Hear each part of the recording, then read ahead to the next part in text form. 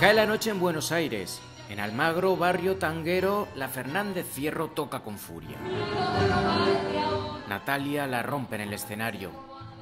Claro, es un género que, que era machista, solía ser muy machista, pero hoy en, en la movida de tango nuevo, tango contemporáneo, hay pilón de mujeres.